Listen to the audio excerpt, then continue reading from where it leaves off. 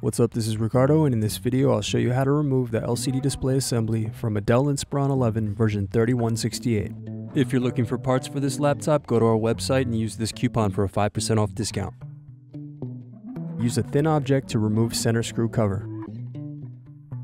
Now unscrew and remove bottom base cover.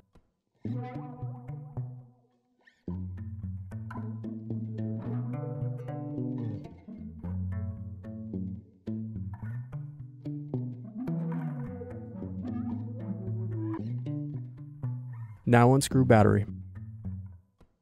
Then disconnect and remove battery. Then unscrew bracket and remove LCD cable.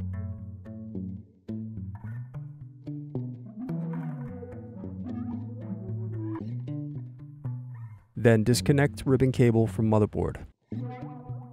Now unscrew bracket. Then disconnect antenna cables and remove wireless card. Then unscrew hinges and remove LCD display assembly. Need more? Check out these other tutorials. For batteries, click here. For motherboards, click here. For wireless cards, click here. Thanks for watching. If you enjoyed this tutorial, give this video a like and subscribe to our YouTube channel.